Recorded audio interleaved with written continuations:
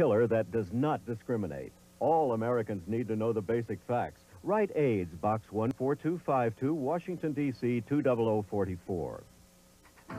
Enter the world of a square peg in the Oval Office on the next Entertainment Tonight. Boy, oh boy, oh boy, who would have thought? You've got an appointment with Madeline Kahn as the First Lady of Laughs brings her wit to the White House in Mr. President. Then we're in New York as Paul Newman joins Joanne Woodward for the premiere of The Glass Menagerie. Plus, return to the days when Father knew best and see what Bud is up to now on the next Entertainment Tonight. Tonight at 10.30 on Channel 5.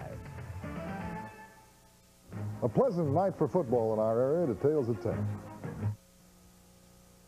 Tonight at 10 o'clock, a statue of Tennessee's hero is vandalized, but the missing piece is found the day later. We'll tell you about Sergeant York's rifle tonight at 10 o'clock. For 20 years, I cooked his meals and cleaned his clothes. I raised the kids, supported him every step of the way.